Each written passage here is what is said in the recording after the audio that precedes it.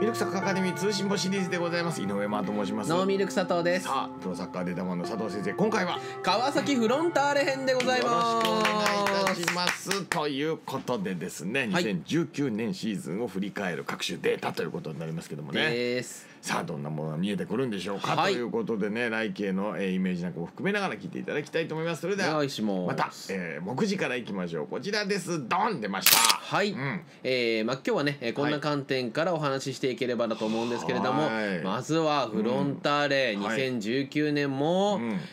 優勝一つ取ったということでルヴァンカップの優勝ね。改めましておめでとうございますますそうですね。一冠もしっかりキープされたというしかも史上最高レベルの決勝戦を見せてくれたというかね。そうですね。うん。だから最近 J リーグってねレベル上がってることはまず間違いないんですけはいはいはい。うんどこういうなんか本当スペクタクルなね。そうですよね。うん。それが本当に最近こう新しくえーまあ川崎以外で出ますけどあのやってくるその外国籍の選手たちがええ。なんか聞いてた話したんといわゆる思ってたんと違うみたいなのがはいはいはい。もっとすげえレベル高いじゃん J リーグなんてことをやっぱ言ってくれてるのが。なるほど。そうそうそうあるなと特に思っております。はい。札幌も素晴らしかったですよね。ねえ、でただ、はい。ちょ怪我人さんがちょっと続出してしまって、はい、えー車屋さん上里さんあたりが、はい。い、や一体あなた方何ポジション、いどんな感じでやってたんですかねっていうのがねねいろいろありましたとご。ざいました本当に。はい、うん。またあと3つ目なんですが、まあ、当時はね、マリノス所属ではありましたけど、はい。えー三好浩二があと一歩で、うん。えーコパアメリカ得点王なんていうねこともありましたよね。ね。2得点を取りました。はいはい。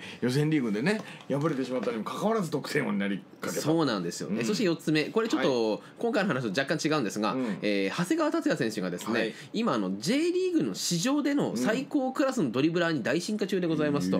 これあの川崎フロンターレの皆さんもちょっとぜひね見ていただきたいのがドリブルデザイナーの岡部さんという方はいらっしゃると思うんですけど、もうなんかもう若干もうさもう準レギュラーなんじゃないかってぐらいに実はうん。結構出てまして、えー初めてその指導を受けた時からうん。明らかに今はもう進歩していて、リバプールのサディオ・マネぐらいのレベルまで上がってきてるんですよね。マネができることは長谷川も今もな大体できるってう。いう。ハマってんですね。だからそのそうなんですね。デザイナー岡部さんのメソッドが。そうなんですよ。楽しいんでしょうね今ね。僕もちょっとなんか皆さんにこう各選手にもこうデータの側面から伝えたいなっていう意欲がちょっと湧いてくるぐらいでございます。なるほ、ど。えーそして続いてルヴァン獲得もリーグは4位と、はい。えー2020シーズンはアジアでの戦いはないため2021年のうん。ACL に向けてまた新たな歩みを始めると、はいはいで、うん。実はこれびっくりしたのが、うん。えー201789と、はいはい。グラフ的に言うとうん。ハイレベルなんですよ、はい。ただちょっとずつしぼんじゃったんですよね、うん。でだからそれがもしかしたらリーグ取れなかった要因なのかなって部分もあるんですがうん。それを戻すための鍵は大島亮太が握っているようですと。なるほど。プラス最後、はいはい。来季見せる大卒センセーショナルラインナップと期待のラインナップがいますからはあまあ、そんなところにも注目して見ていければと思います仕上げにも期待しましょうということなんはいじゃあですね2019年の成績表から確認してみはいましょう、こちらでございますドン出ましたうん。はい、まあ、MVP は谷口さんね、まあ、ルヴァンではね、ちょっとうん。まあなんでそのレッドカードなんだよみたいなこともありましたけど、はいまあ、シーズン通してみたらもう本当にうん。奈良選手怪我だとか、はい JJ 選手も抜けたりだとかもいろいろあったので、谷口選手がこう最終ラインを守っていてくれたからこそってところがありましたからね。うん。えー続いて関東者の森里選手、まあ、はい左右のサイドバックプラス、えーデジッチのプロデューサーなんてこともありますからね、うんうんえーいろんな今後もいろんな役職に期待でございます。えー厚労省としては、まあ、千葉への移籍になりましたけども、新井翔太選手、はい。まあ、ルヴァン決勝でね主に見せた西武だったりだとか、うん。その後の終盤戦のリーグ戦で見せたパンチングなんてものはちょっと忘れられないですね。うんはいはい。でミルアカ賞は、まあ、田中碧、まあ、みもちろんね、えーリーグ戦なんかももちろんそうなんですけどアンダーの世代で戦ったあのブラジル相手への勝利とか、はい。まあここはもう見逃せない。そしてこの板倉公三好浩二田中碧宮代大成というユースからね、うん。いい選手が続々と今上がってきてますからちょっと楽しみですなねはい、得点は小林優選手アシストは長谷川達也選手でございました。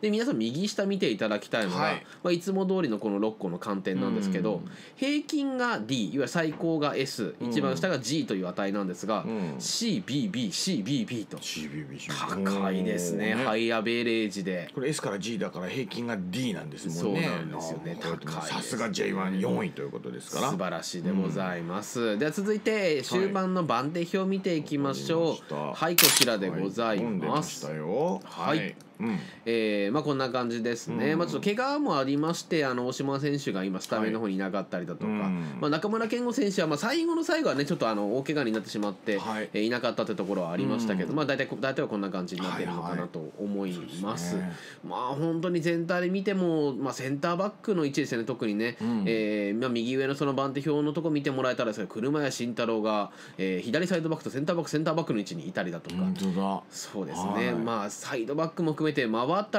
マギーニョ奈良ジェジエこの辺りが怪我が多くなってしまったためうん上り里車や、えー谷口山村ほぼ4人でどうにかぐるぐるぐるぐると回していたりだとか右サイドバックをね、えー森田選手が兼任してくれたりだとかで、まあ、どうにかなったかなっていうところでございまあま。ACL もある中でねねえすごかったでございます、うん。では続いて台所年齢分布見ていきましょう、はい。こちらでございます。まいりました。と、うん。まあ、改めて見ると中村健吾というところだけまあ本当突き抜けた位置にね。ねいらっしゃる世代で見るとね。そうなんですよ、だからまあね大卒の段階から見ていらっしゃったそのフロンターレのサポーターの皆さんとしては、はい。えー、あの優がよく考えたら年長者4番目なの？なんて。なるほどね。ね若いイメージあるんですよねなんかね。そうなんですよ、ただもうそこからまた若いメンバーも入ってきてはいとい。う感じになりますね、うん。まあ世間的には32歳ですからねまあまあまあまあまあ。サッカー選手としてはもうこう熟練の域に入ってる。そうですね、うん。となっております、はい。で続いて強化部フロー見ていきましょう、はいこちらです。よドンインアウトこんなんでした。はい、うん。えー川崎フロンターレは移籍での獲得って形をあまりこの冬の段階というか、うん。えーこの2019シーズンの中では行ってはいませんでした、はい。えーもう旗手選手と三笘選手はもう2018年の間でもうすでに決定していて、うん。プラス桐蔭横浜から伊坂全員選手が入ってきたりだとか、はい。あとは川崎フロンターレ U18 から宮城選手の昇格、または神谷選手が東海学園大から入ってきたという流れになってますね、では続いて成績推移見ていきましょう、はい、こちらでしたよ。ドンということでね勝ち星の月、えー月割りのグラフということですね。はい、はい。えーピンクになってるところが超優れているところですね、で黄色がいいところで青が、はいえーちょっとよろしくなかったという10ことになって月の得点力がバリすごかったってことですね。そうなんです。2試合で7点ですからね、うん。1試合平均3.5本当ですね。異常ですねこれはね。この辺をね兆しにしてまたグワッと最後上がったということですけれども。はいただ、うん。とはいえそうですうん。ねやっぱり夏にちょっとピーク持っていきたいところがただというなるほどね。のはありましたね、えーただあのルヴァンの今優勝とかも機に終盤戦は上がってったんだろうなっていうのは、い。そっか機運は上がってったけど、うん。ちょっと夏にまあ怪我人とかも含めて多かったのかなというのもこれ。最後はちょっとあれ優勝争いいっちゃうのかなみたいなのも一瞬ありましたもんね。そうなんですよ。まだ諦めてないっていう言葉がね嘘じゃないようなうん瞬間まで行きましたもんね、まあ間違いなかったですよ。だからね、ええええ。だからそう考えると本当夏だけがうん。ちょっと、まあ悔しかった部分にもなりますね。3っていうのがちょっとねあの悔やまれますねこれねうんそうなんですよね、うん春先から、まあ、徐々に平均勝ち点がだんだんと、まあ、階段かのようにちょっとちゃかちゃかっとこうこれやはりこうんメンバーの怪我であるとか疲労の蓄積であるとかっていうのもやっぱ要素として考えられますそうですねうんとしか言いようがないですね。はい、ということでございました、じゃあ3年比較見ていきましょう、はい。今日のメインはここです、なるほど。レーダーチャートドン出ました。はい。うん。えー白いところが平均の1、偏差値50の1で、はい。えー紺が2017、うん。赤が2018黄色が2019となっております。毎回ねこの図がすごく何かを物語ってるわけですけど今回は、はまずですね、うん。なんかちょっと図ちっちゃくないですか？そうなんですよね。はいでだけど、思えばほとんどの項目平均を超えてるんですよね、はいはいはい。これ何かっていうと、うん。すみません僕のグラフの作り方があれだったかもしれないんですが、うん。あの基本的な偏差値の位置があの、特にオフェンス特に2018年のオフェンスの位置が、うん。偏差値70ぐらいいっちゃってあの大外の枠が偏差値100っていう項目数が出てきちゃったんですよね。はめちゃめちゃいいつもより偏差値の枠が小さい？そうあの平均偏差値の枠がいやあの一番大外の枠が、うん。本当はお一番大外が80とか60の位置になるうちが多かったんですけどはあはあはあ。あまりにも項目がですね良くなりすぎて偏差値そういうこと。100っていう新しい項目まで出てくるぐらいじゃないはあはあはとちょっとグラフから飛び出るぐらいになっちゃったんで、えー。そうなんですよ。なるほどこういうこうならざるを得なくなったという形でござでいました。もあ。の飛び出てる角はないですよね。そうなんです。でえこれ見てもらえればなんですけど、まず、えー2017も18も19も全てあの鬼木監督の時代になってまして、うん。よくよく見てみると結構グラフ似てるんですよね形としてはね。これ面白いもんで毎回ね監督がやった形っていうのは似るんですよね。サイズは違うんですけどまあ成績がありますから。だから分かりやすいのが、うん。えー例えば青も赤も黄色もそうなんですけど、はい本当だ。ポゼッションも高くペナルティーエリアの中にも入っていて、相手の陣内 30m 以内のところにも入ってるんだけど、攻撃回数はそんなに多くないっていう。んそうなんですね。そうそう。だから逆に言うと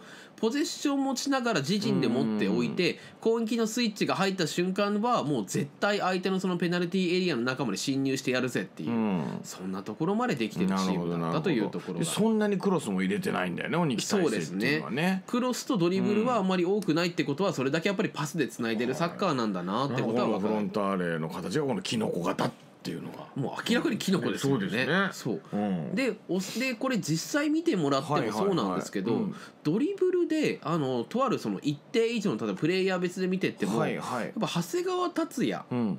この選手だけはちょっと別格のいわゆるこのチームとは、まあ、違う数値を残してる形はい。なんですよへえドリブルだけギュンとこう飛び出てる、なので、えー彼だけはその流れをこう変えるプレイヤーとしていわゆるうん。パスだけでは突破できない時にいるプレイヤーとして、えー彼がいたのかななんていうことも。だからさあのほうほう斉藤学選手とかだとうん。実はドリブルもドリブル優れた選手ではあるんですが、彼ドリブルではなくてパスの方があそうなんですか。あったりするんです数字的に言ううん。とじゃあなんでかって言われたらうん。ドリブルはもう長谷川達也選手の場合には基本がドリブル。うん。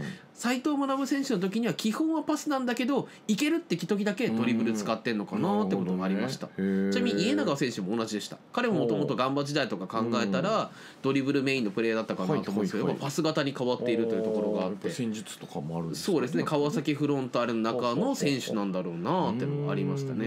違ったのは2人か。あとプラス阿部寛之選手もなんかもそうでしたね。なるほど。彼の場合はもうあのギュンとシュートの位置がうん。抜きに出てるのではははもう下がり目のところからも狙ってるぞっていうのが分かる選手でございました。おー。やっぱりそっか徐々にこうしぼんできちゃってるっていうのはまあ順位が表している通りということか。そうですね。だからそれだけ今決まらなかったのもそうですけど。もちろん平均よりはねドカッとでかいこのスケールの大きい中でのしぼみ方ですけそうどねですね。ただ2017から18に関して、まあ、ゴール以外の数値が大体膨らんでいたにもかかわらずうん。そこが、まあ、戻ってきちゃったって感じになるから、まあ、優勝できなかったっていうのは、まあうん。まあ、まさにそういうところにつながってくるのかもしれないし特にあのタックルの数値だけはこう上がっては、まあね、2019いるんですが、うん。まあ、それだけ、ね、攻められてしまった。なるほど。特にもうこれはね開幕前の段階からもう各チームが3バックやってうん。くることが多かったりもう川崎フ打倒川崎フロンターレでやっていくようにはい2019年はっていうのを打ち出していたので、うん。まあ、多少マークされた中でだったから、まあ、3連覇にならなかったらちょっとしょうがなかったかなと。なるほどね。プラスその中で怪我人もねどうしても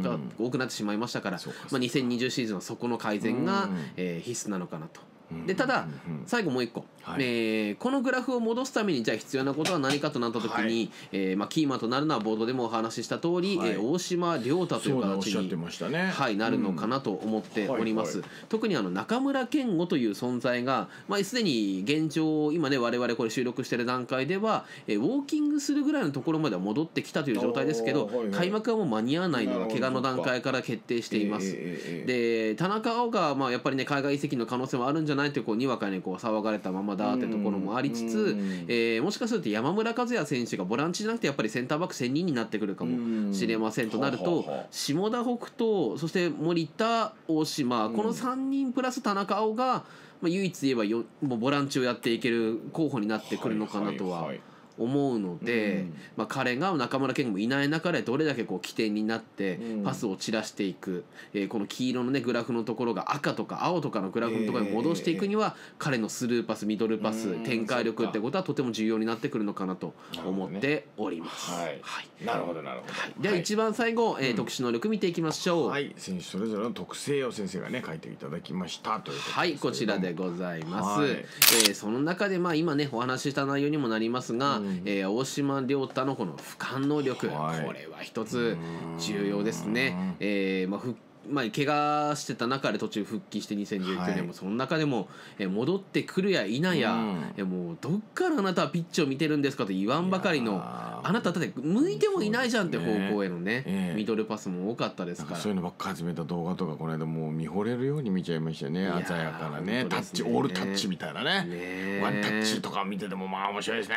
そうですね。あやっぱりそしてはい。2020年の開幕は静岡学園から始まったわけじゃないですか。あ高校サッカー選手権ね。高校サッカーそうか OB ですもんね。そう。だこの中には大島亮太もそうだし、長谷川達也もそうだし旗手怜央もそうだしはあ。もう静学出身がまあ多いわけですよ、そうやって。はいなんだよ。だからなんか今年はうん。静学の1年だみたいな感じになるのをちょっと見たいなというところはありますね。えーそれであと先ほども言った通りですが長谷川達也選手にはまあちょっとドリブルの1個上というか自由自在という能力をちょっとつけてみました。もう本当にボールの置きどころ フェイントの仕方うん。カットイン相手の重心を見ながら自分の出し手を変えていくようなスキルもうそこがもう別格レベルになってきたのでそこは注目かもしれませんね。仕掛けていくんじゃないかと。そうですね、えー去年もそうでしたが、まあ、10アシストを狙ってってはい。欲しいですね。う、ん。まあ、そんな選手でございます、ということで川崎フロンターレでございました。ありがとうございました、はい。というわけで先生にね、えー通信簿シリーズをお送りしてまいりました。ということで、えー全チーム展開中やっております。ということになりますけれどもまた、えー新メンバー固まり次第、はい。えーシーズン前開も幕前でやっていきたいと思いますのではい。ということになってますのでね、よろしくお願いします。チャンネル登録ぜひしていただけると嬉しいです。よろしくお願いいたします。と、えーライブ配信は月曜日の9時から、えーはい月例ライブの方も行っております。詳しくは概要欄ご覧ください。お願いしというますことでございました。最後までご覧いただきましてありがとうございました。ありがとうございました。井上真でした。ノーミルク砂糖でした。先生ありがとうございました。ありがとうございました。それでは皆さんまた明日の朝お会いしましょう。いってらっしゃい